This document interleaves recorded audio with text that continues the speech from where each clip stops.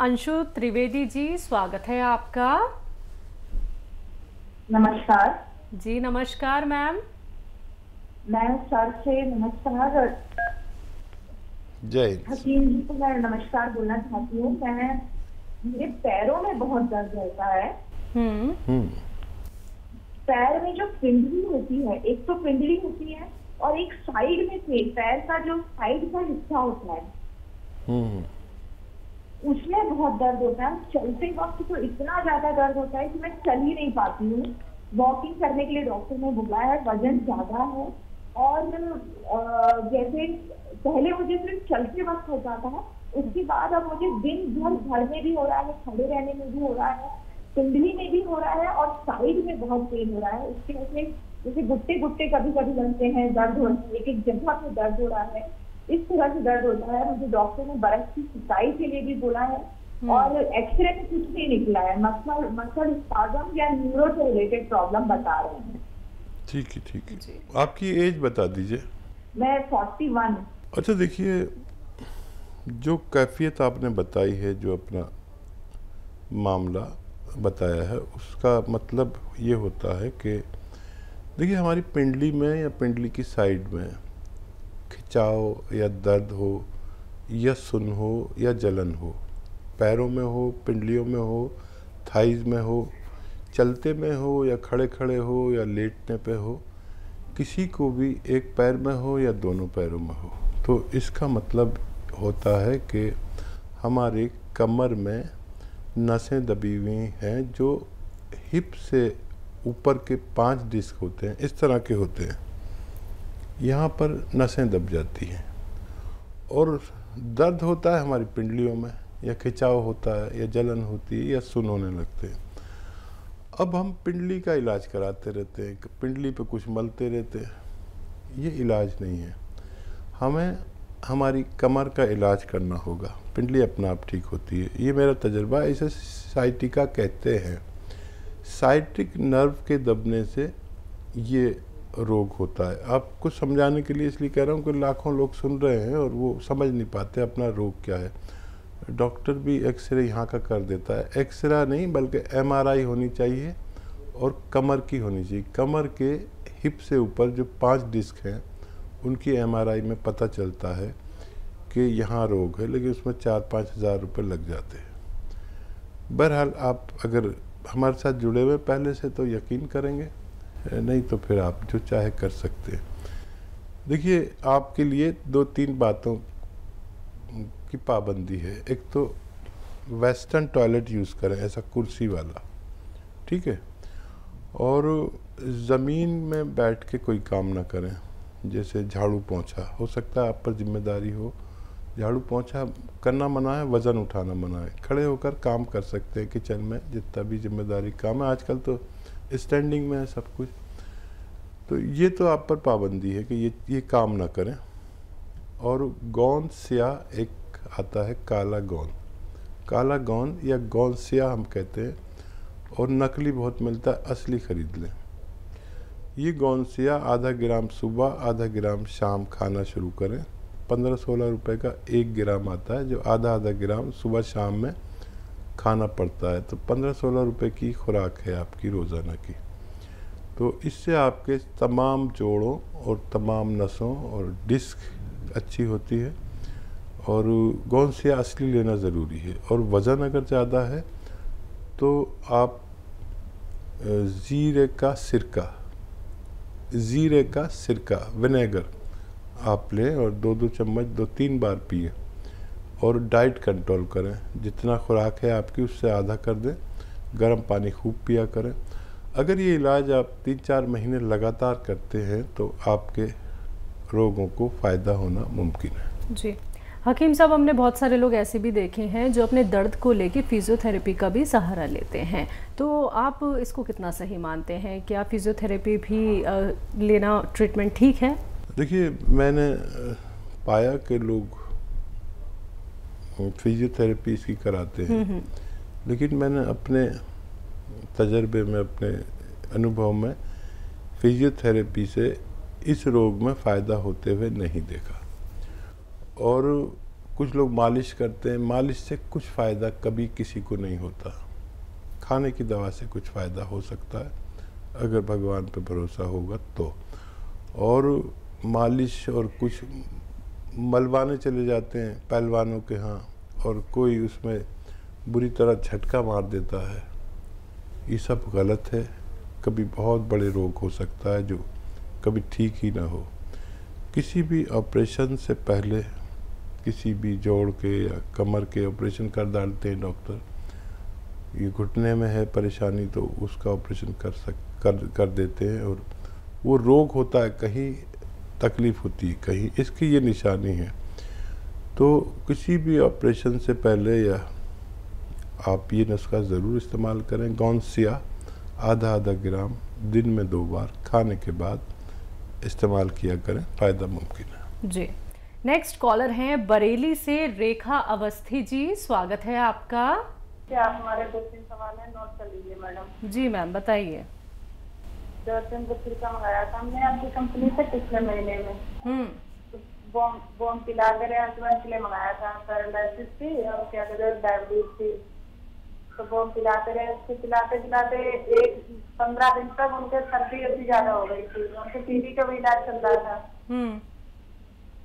फिर हमने पिलाते रहे तब भी भरोसा था पिलाते रहे पिलाते रहे फिर बाद में बहुत ज़्यादा सीज़न जकड़न हुए बुखार भी आया तो हमने फिर उनका रोक दिया पिलाना बंद कर दिया हम्म बुखार उखार की दवाई एडमिट भी रहे दो दिन बुखार की दवाई भी दवा दी और खांसी सिरप सिरप पिलाया तो खांसी आंसी के लिए तो सही है। लेकिन उनकी हथेली और तलवे बहुत गर्म रहते हैं इतने गर्म रहते हैं कि वो से भी लगता है कि हाथ जल रहे हैं इतनी तेज़ी से गर्म रहते हैं। और वो जो जैसे उनको छिड़का है वो हमने आधी बोतल है वो भी रोक दिया है कि हम पिलाएँ नहीं पिलाएँ वो करते हमें। इसीलिए बात करनी थी कि हम अब इस समय पिला सकते नहीं पिला सकते तो टीवी के भी इलाज चल रहा है ठीक और है। ज़्यादा डायबिटीज़ का भी है और पैरालाइसिस भी है हमें बहुत परेशान उनकी वजह से हम बहुत ठीक। खराब कमज़ोर इतने हैं बहुत ज़्यादा कमज़ोरी वाले हैं। जिससे बुखार आया है, उससे बहुत ज़्यादा ठीक ठीक है अच्छा देखिए जिन लोगों को सिरका नहीं चले और ख़ास तौर पर टीबी के टीबी के पेशेंट में ये होता है कि फेफड़े की बीमारी। है और फेफड़े इम्प्रेस रहते हैं। तो उनको शायद ये नहीं चल पाएगा। तो जिन लोगों को भी, देखिए डायबिटीज़ के लिए और कंट्रोल के लिए ये चाहिए तो वो गौंद चिलगोजा लें। एक चुटकी सुबह, एक चुटकी शाम। तो ये उनके सीने में जकड़न भी नहीं करेगा और जितना कफ है उसे बाहर फेंकेगा। और ये बेहतर है डायबिटीज़ कंट्रोल करता है ये। और अगर फालिज, लकवा और टीबी है। तो एक चुटकी खाने का सोडा और एक चुटकी नमक, जैतून, दो गिलास पानी मिलाकर दिन में एक बार दे दिया करें। तो इससे चर्बी कम होती है, कोलेस्ट्रॉल कम होता है, ब्लड प्रेशर कंट्रोल होता है और बहुत फ़ायदा मुमकिन है। उनको ये ना दें और ये कोई और शख्स ले ले आप इन्हें इस तरह से इलाज करें तो फ़ायदा मुमकिन है। जी। औरंगाबाद से हैं शेख यूसुफ जी स्वागत है आपका। हाँ अकील साहब को हमारा अस्सलाम वालेकुम। वालेकुम अस्सलाम। सर मैंने आपसे जो है तो चुलगोजे का गोंद मंगाया था और तुम्हारे क्या बोलते हैं गोंद मोरिंगा। तो बच्चे गोंद मोरिंगा खाए तो कितने दिन खिलाना आप हमको बोलो। अवश्य और चुलगोजे का गोल कितने दिन खिलाना है वो भी मालूम करो हमको। और एक सवाल है हमारा कि जो है तो बच्चा दिन भर अगर भूखा रहा हम्म। तो दिन भर भूखे रहने में उसको मछली होती सर में दर्द होता उल्टियाँ होती नल टाइट हो जाते। और इतनी तकलीफ़ होती कि मतलब दो दिन तीन दिन बहुत परेशान रहता। एक दिन भर अगर खाना नहीं खाया तो। हम्म, हम्म, बच्चे की उम्र बताइए। बच्चे की उम्र है पैंतीस साल। अच्छा। और गौन मोरिंगा जो खाते हैं उनकी उम्र कितनी है? हाँ वो एक बच्चा है चार साल का एक बच्चा है चार साल का एक बच्चा है पाँच साल का एक बच्ची है तीन साल की।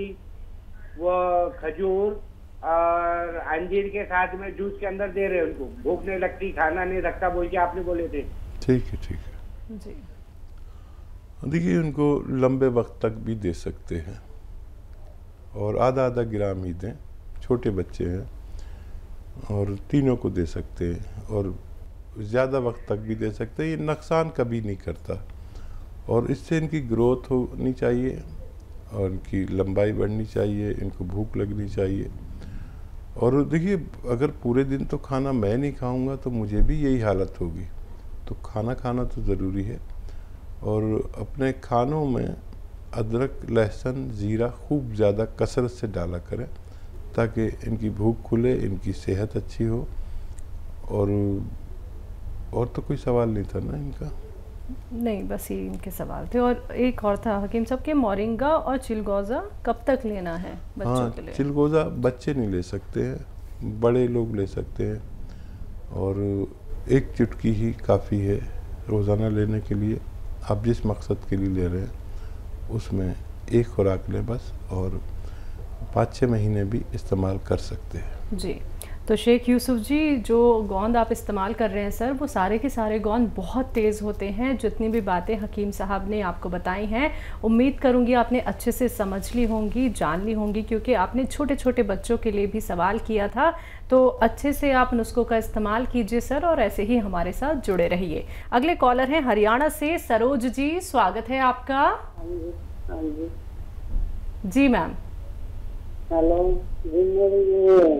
जी जो गट्टे है ना इनके एक भी के ऊपर गट्टा जो किस्त है इतना बीस निकल दी किस्ते में सरोज जी कुछ समझ नहीं आ इतना रहा पेन हो गया है कि करने सकती है ये गट्टे पूरे सूझ रहे चल नहीं पाती हैं। आप पैरों की बात कर रही हैं पैर के गट्टों हाँ की? हाँ पैरों पैरों की कर रही है जी।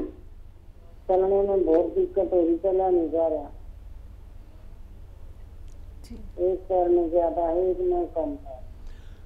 देखिए, सरोज जी, ये रोग तकरीबन हर शख्स को अब होने लगा है। तो क्या इलाज नहीं किया होगा आपने अभी तक? मैं समझ सकता हूँ और आपकी आवाज़ और अंदाज से लग रहा है कि कितनी तकलीफ़ में हैं आप। देखिए, दुनिया में दो इलाज हैं। एक तो ये कि आपने इंग्लिश दवा ली, खाया और थोड़ी देर को फ़ायदा हो गया। और एक यूनानी आयुर्वेदिक दवा है जो खाएँगे, फ़ायदा देर में होता है, लेकिन रोग से निवारण मुमकिन है। तो ज़रूरत पड़े तो आप एलोपैथिक लेते रहें। गोंद सिया एक यूनानी यानी आयुर्वेदिक गोंद है, एक रॉ मटेरियल कच्ची दवा है। ये अगर आपको असली मिल जाए, नकली बहुत मिलती है। तो आधा ग्राम सुबह, आधा ग्राम शाम खाना शुरू करें। नाश्ते और खाने के बाद गोंद सिया हम कहते हैं, इसे काला गोंद भी कह सकते हैं, लेकिन बेशुमार नकली लोग बेच रहे हैं। असली लेना आपकी ज़िम्मेदारी है। और ये ऐसा है कि पंद्रह सोलह रुपए का एक ग्राम आ जाता है, जो आधा आधा ग्राम पूरे दिन में दो बार खाना पड़ता है खाने के बाद। असली लेना शर्त है। और ये सौ ग्राम भी असली मिल गया। तो आपके रोग के लिए काफ़ी होना चाहिए। असली लेने की कोशिश करें और याद रखें, अगर ये आप शुरू करें, वैसे भी नहीं भी शुरू करें तो वेस्टर्न टॉयलेट, एक कुर्सी वाला शौचालय यूज़ करें। आप मेहनती लग रही हैं, मुझे अपनी अंदाज से और बात से मेहनत छोड़ दें। झाड़ू पोछा नहीं करना है, वज़न नहीं उठाना है और वेस्टर्न टॉयलेट यूज़ करना है। अगर आप ऐसा करते हैं तो आपको फ़ायदा होना मुमकिन है। जी। तो मैम, दुआ यही है कि जो आपकी दर्द भरी आवाज़ थी, अब आने वाले वक्त में, यानी कि जब आप नुस्खे हकीम साहब के अपनाएँगी, जब आपको थोड़ा थोड़ा करके आराम मिलने लगेगा तो मैम हमें ज़रूर बताइएगा उस मुस्कान के साथ कि आपको कितना आराम मिल गया है। दुआ हमेशा दर्शकों आप सभी दर्शकों के लिए यही रहती है कि आप लोग बड़ी से बड़ी बीमारी से बच जाएँ। लेकिन खुद का ख्याल खुद ही रखना होता है। हकीम साहब सिर्फ़ आप लोगों को मशवरा दे सकते हैं, आप लोगों को नुस्खे बता सकते हैं। आपको ही उनका इस्तेमाल करना होगा एहतियात के साथ। हर एक बात को समझने के बाद ही नुस्खे अपनाइएगा। कोई भी क्वेरी करना चाहते हैं हेल्पलाइन नंबर 24 फोर आवर्स आप लोगों के लिए अवेलेबल है। आप लोग वहाँ पे कांटेक्ट कर सकते हैं। जहाँ पे आपकी बात होती है हमारे एक्सपर्ट डॉक्टर्स की एक पूरी टीम से। अगले कॉलर हैं विमला जी स्वागत है आपका। हेलो हाँ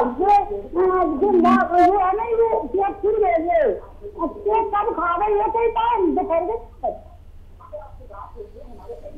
हेलो कुछ नहीं समझ में आ रहा हमारे मैम टीवी का ना वॉल्यूम कम कर दीजिए। आप जो कहना चाह रही हैं वो हम तक बात नहीं पहुँच पा रही है। टीवी का वॉल्यूम कम कीजिए मैम। है ये साहब ए, मैडम जी खाते से खड़े नहीं हो पाते हैं टीवी चालू है। अब कोई साथ में हो है नहीं है कि कोई बंद कर दे? इसलिए हमने तुमको लगाया टीवी को क्या दिक्कत हमारा करियर कम नहीं कर रहा बिल्कुल मैम नहीं समझ में आया। क्या तकलीफ़ क्या है? भाई गठिया बा एक बताई डॉक्टर ने कि। गठिया बा है। गठिया हाँ, तो जोड़ों में पूरे जोड़ों में दर्द दो अब करिया को जोड़ में इतना दर्द है करिया पे से कि बहुत ज़्यादा कमज़ोरी नहीं उठा पा रहे ऊपर। ठीक है ठीक है ठीक है। हम समझ गए। अच्छा देखो बहन आप बहुत सीधी लेडी हो बहुत अच्छी लेडी हो। हमारी बात गौर से सुने। आप लिख नहीं पाएँगी क्योंकि आपके पास कोई ऐसा भी नहीं है जो टेलीविज़न बंद कर दे, आपने बताया। तो हमारी तरफ़ से आपको फ़ोन आएगा। तो आप पूरी बात उनको बताना और वो एक जो दवा आपको भेजे, वो लेना। गोंद सिया आता है एक काला गोंद जिसे काला गोंद भी कहते हैं गोंद सिया। इसका असली मिलना बहुत ज़रूरी है। मुझे मालूम है कि आप लिख नहीं पाएँगी, समझ नहीं पाएँगी मेरी बात। फिर भी मैं बोल रहा हूँ क्योंकि कुछ लोग ऐसे हैं जो मेरी बात समझ रहे होंगे। तो ये ले लीजिए और आधा ग्राम सुबह, आधा ग्राम शाम। नाश्ते और खाने के बाद खाना शुरू करें। अगर ये असली मिल गया आपको 100 ग्राम भी तो आपको फ़ायदा होना मुमकिन है। जी।